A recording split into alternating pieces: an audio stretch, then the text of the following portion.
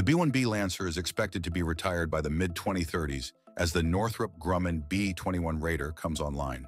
However, to avoid a potential capability gap in the event of delays to the Raider program, the U.S. Air Force has continued to upgrade the B-1B fleet, particularly in terms of payload enhancements. In line with this effort, Boeing has been awarded a new contract to produce external pylons for the B-1B. These pylons, known as the Large Adaptable Modular LAM system, have been in development for several years and are designed to significantly expand the bomber's versatility. Once integrated, they are expected to boost the B-1B's payload capacity by up to 50%, allowing it to carry a wider array of heavier munitions. The deal is worth approximately $78.7 million. It stipulates an initial $10 million in funding for 2025, with the remaining balance to be allocated in 2026. In this video, Defense Updates analyzes how B-1B's lethality would be greatly increased by large adaptable modular pylons. Before we proceed, a word on NordVPN, which is one of the most trusted and fastest VPN brand that has a no-log policy validated by Deloitte. NordVPN provides a 256-bit encrypted tunnel that protects your privacy and also enables you to access contents that are blocked based on geolocation. Its threat protection system helps you avoid phishing, scams, and malware.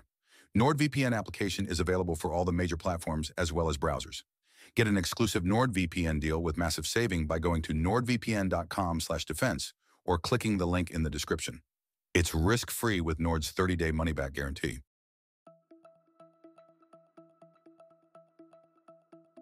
Boeing Defense posted on X, Thank you, U.S. Air Force, for selecting us to deliver load-adaptable modular pylons for your B-1 fleet. The LAM pylons will bring new capabilities and allow the B-1 to continue to adapt to evolving needs. Troy Dawson, Vice President of Bombers Development, said, Our team identified an opportunity to help the U.S. Air Force achieve their mission even more effectively. They found a creative and innovative way to get new capability to the warfighter to stay ahead of current and emerging threats. They helped ensure the B-1 will be a key part of the U.S. bomber force for decades to come. The U.S. Air Force's fiscal year 2026 budget proposals justification book stated, the B-1B External Heavy Stores Pylon Program provides increased carriage capacity of standoff munitions on B-1B aircraft.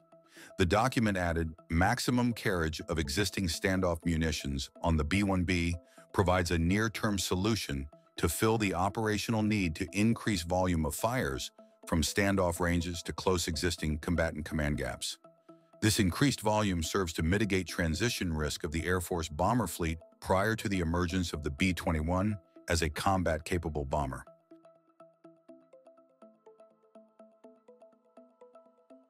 B-1 Lancer is a variable sweep wing, heavy bomber used by the United States Air Force. It essentially has two variants. The B-1A was originally designed during the 1970s as a high-altitude Mach 2.0 capable nuclear bomber. The program was canceled in 1977 by President Carter due to changing strategic needs. A redesigned and improved version, B-1B, entered service in 1986. It was optimized for low-level penetration with a stealthier profile, but no longer possessed Mach 2 capability, topping out at roughly Mach 1.25 with a range of 5,900 miles or 9,400 kilometers. While not a stealth aircraft in the same category as the B-2 or F-22, the B-1B's ability to fly at low altitudes at high speeds offers a degree of survivability against conventional radar systems. The four General Electric F-101 GE-102 afterburning turbofan engines enable the B-1B to haul a lot of weapons.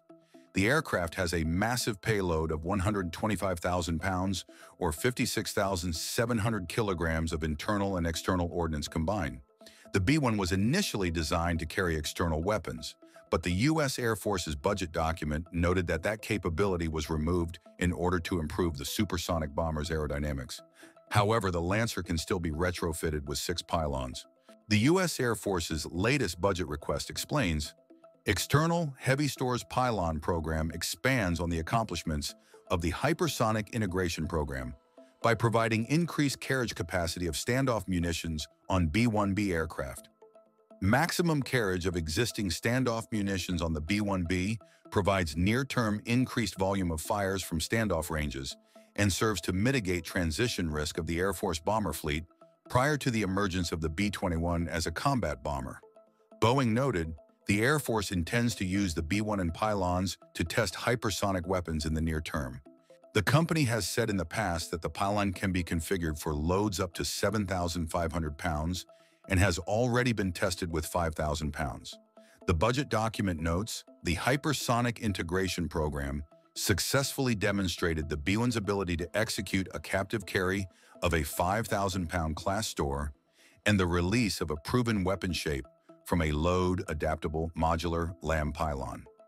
The LAM pylons underwent evaluation, including ground and initial flight testing, with the U.S. Air Force's 412 Test Wing at Edwards Air Force Base.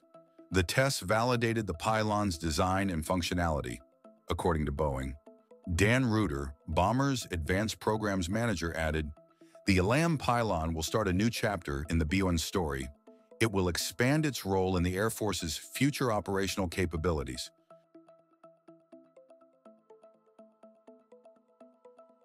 Although the B-1B is nearing retirement, it remains a very capable war machine.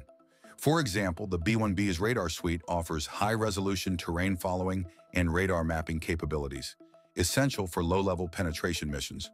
Also, its advanced communication systems enable secure, real-time coordination with ground and airborne forces, significantly enhancing the effectiveness of joint operations with allies and partners.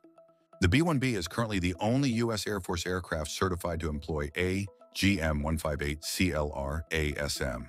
There are about 42 B-1Bs in service, which is not a small number. A single B-1B can currently carry up to 24 JASSM or LRASM internally, and with six LAM pylons, 12 more of these missiles could be carried, resulting in a 50% load increase. When it comes to hypersonic weapons, the picture's a bit different.